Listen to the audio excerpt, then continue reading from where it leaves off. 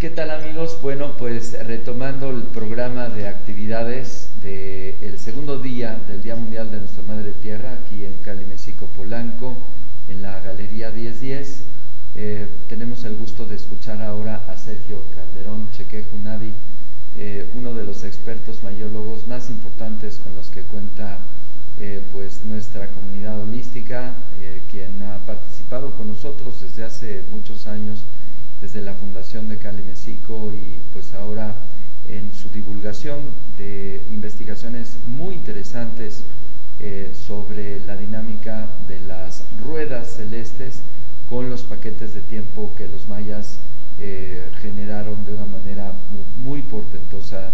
Eh, Sergio, muy buenos días, muchas gracias por esta charla que veo que son mayas universales y biorritmos estelares, un tema eh, increíble. Muchas gracias por estar aquí en este programa El Día de la Tierra. Bueno, pues gracias por la invitación. Este, pues vamos a empezar por el título, ¿no? Porque mayas universales. Eh, pues estamos hablando de un pueblo que, que puso las bases para todo el conocimiento este mesoamericano eh, aunque hay la discusión, aunque hay la discusión acerca de que, de que si fueron los olmecas o si fueron los mayas los que, pues, los que inventaron todo esto del, calendario, pues la verdad, este, ahora se han encontrado evidencias de que, eh, que arqueológicas a lo que le llaman los protomayas, que vienen siendo mayas anteriores a la época olmeca. Entre la cultura maya tenemos este, fechas muy antiguas de hace 20 mil años, ya lo vamos a ver al ratito más a detalle.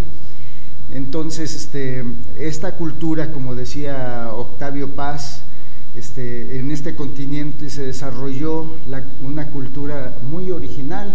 ¿Por qué? Porque no tenía contacto con todo lo demás del mundo. América está totalmente aislado de, Asia, Europa este, eh, y África, ¿no? Entonces, este, y el conocimiento que, ellos tenían, hemos comprobado de que era un, un, conocimiento que sirvió para el desarrollo también de muchas otras culturas. Eh, los mismos monjes tibetanos, cuando yo he alternado con ellos así como músico, eh, y he platicado en, se podría decir, en camerinos con ellos, y me decían que, bueno, yo les hablaba acerca de los mantras mayas y lo que quieren decir los mantras tibetanos en maya, y entonces se, este, no les pareció muy admirable porque ellos ya sabían que los ya conocían a los mayas. Eh, lo que pasa es que nuestra historia está dada muy así desde el punto de vista eurocéntrico, pero si nos vamos a los historiadores chinos, a los historiadores tibetanos e hindús, van a ver que ellos ya conocían a los mayas, que los consideran que llegaron a, a culturizar a todos esos pueblos este, claro, muchos miles años antes de, de, Cristo, ¿no? Eh, eh, ellos les llamaban los nagas. Entonces, si ustedes buscan en el internet, por ejemplo, los números nagas y los números mayas, van a encontrar que son los mismos. Junca, Oshkan, Kuk, Washak, Bolom, este, Lahun, luego este, viene Buluk, Lajka, Oshlahuna, y para seguir hasta el 13. Y, van a encontrar cómo coinciden totalmente esos números y dicen cómo. Lo que es más, me decían que un historiador, el que escribió el Ramayana, este, habla sobre los mayas, miles años antes de Cristo. Entonces, bueno, eh, la cultura olmeca vino siendo una cultura que, una fusión de culturas, porque en el Océano Pacífico ya era este, navegado por los pueblos de, de, Asia, sino como se fueron poblando todas esas islas del Pacífico. ¿no? Entonces llegaron hasta Sudamérica y a México, también a Centroamérica. Se conoce de un desembarco de, de 2500 antes de Cristo y otro desembarco por el año 600. Entonces, estos orientales que llegaron aquí no llegaron como los españoles a imponer su cultura, sino como reconocieron la gran cultura que ya había aquí por los, por los pueblos originarios de aquí que venían siendo una especie como de como de indios caribe, que todavía en los lacandones se nota mucho esa, esa raíz, o sea, indios parecidos a lo que vienen siendo los del Amazonas, los que había en el Caribe y los exterminaron, este, los de Venezuela, este, toda la parte es amazónica. Entonces, pues no eran más que indios caribe, pero ocultos, no estaban como ahora este, allá relegados en la selva, que más sin embargo uno los ve como ignorantes, pero tienen un conocimiento tremendo en cuanto a la medicina. Bueno, entonces esa fusión de indios caribe con, con los este, orientales vino, siendo lo que es este, la cultura olmeca, que no fue la primera eh, ni la raza madre como muchos dicen, sino viene siendo este, una fusión este, muy afortunada también porque eh, concretaron muchas cosas este, muy científicas, muy indispensables para lo que fue después este, la cultura en toda América. Vemos entre las figuras olmecas posiciones de yoga, ¿no? encontrábamos palenque brizos con flores de loto y aquí no había flores de loto. Entonces, este, sí, sí hubo esa fusión. Los, últimos que navegaron en este, los grandes mares fueron los europeos, porque ellos tenían su mar encerrado, que era el Mediterráneo. Entonces, no, y, no, y la primera vez que se arriesgan a cruzar el, mar es cuando, por Cristóbal Colón, que era un, este, visionario, y, bueno, ya llegaron acá y ya sabemos lo que sucedió. Entonces yo creo que ya nos queda claro que los mayas este, vienen siendo la cultura original y, de ellos nació este, toda esta cultura. Eh, entonces, hoy estamos en un día 9 Ajao, 15 Kunku.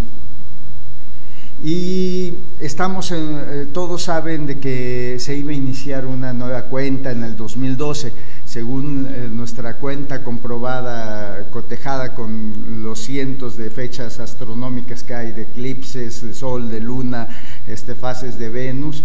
Este, tenemos una cuenta que yo descubrí en el 2011 y según esa cuenta era 16 días después, no el 21 de diciembre, sino viene siendo el 7 de enero cuando se inicia esta nueva cuenta.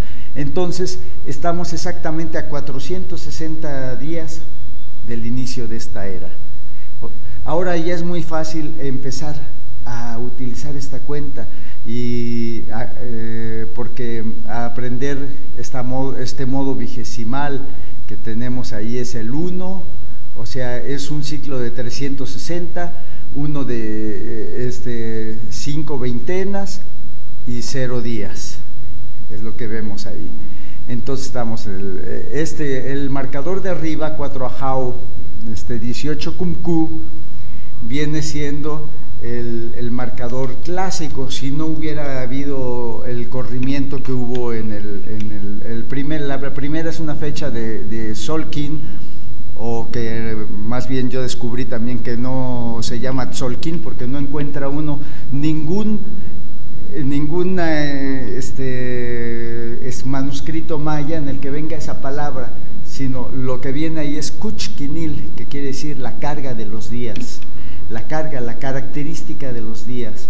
Es este, hay un día, algún día puede uno traer carga de manzanas, otro de guayabas, eh, cada día tiene una carga diferente, ¿no? Una característica diferente, una carga energética diferente. Entonces es más explícito eh, el decirlo así.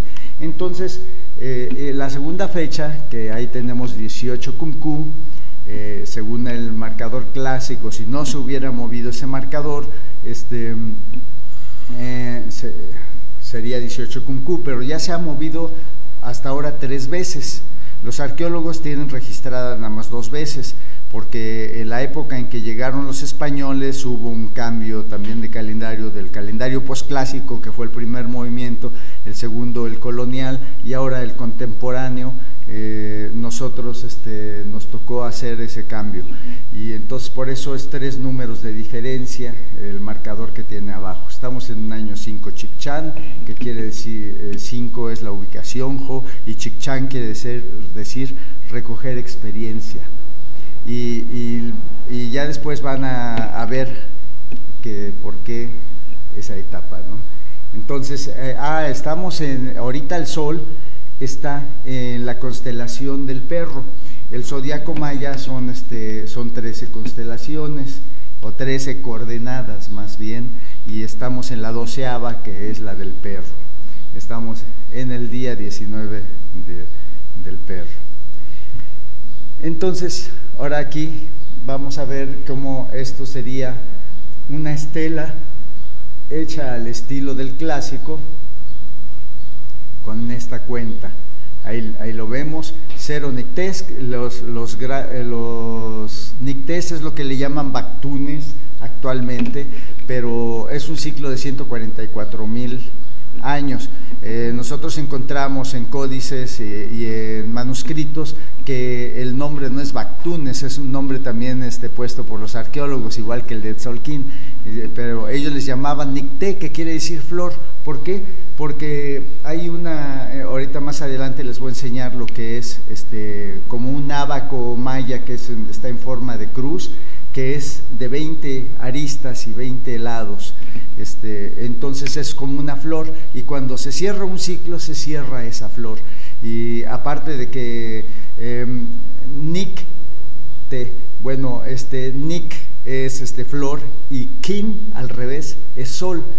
La flor viene siendo como el, el, este, el espejo del sol es más poético. Entonces decir nada más este 400, 400 tunes me parece menos poético que decir se cierra una flor ¿no? del tiempo.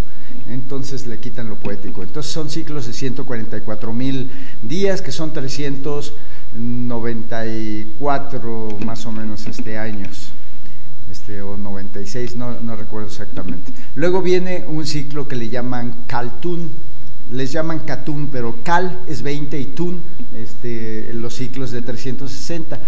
360 por 20 son 7200. Entonces son ciclos de 7200. Todavía no llevamos 7200 este, días en de esta era, entonces por eso está en ceros esos marcadores. Entonces viene el marcador de 360, ese sí ya llevamos uno. Eh, a partir de esta nueva cuenta, que ahora hay que retomarla para esta nueva era, porque ya van a ver cómo este es un calendario totalmente astronómico y todo tiene que ver con movimientos del cosmos. Luego vienen cinco winales, que son cinco veintenas, entonces son 100 días, 360 más 100 son 460, luego viene 0 quines y la fecha que le corresponde que también es una fecha matemática, eso ya es más complejo explicárselos, es este, el 9 Ajau y, este, y luego el 15 Kumku. Viene también un glifo que se les llama, que son novenas, este, son semanas de, nueve días que se marcan del 0 al 8, entonces este, estamos en el G1. La luna la tenemos como el 27 eh, porque también otro de mis descubrimientos fue que los mayas, al encontrar la cuenta y que me quedaran ya casi al 100% todas las, cuentas, encontré que los mayas eh, este, medían el ciclo cero, no como nosotros lo medimos, que es en la luna nueva, sino en la luna llena. Los ah, con esto le rompo el esquema a los arqueólogos, pero los porcentajes me hablan y a mí me quedaron al 93% los eclipses de luna y al 70% los de sol y a ellos no les queda, les queda en menos del 10% todo. Así ya juntando todos, si, si no es que al 3, 4, 5%. Entonces, bueno.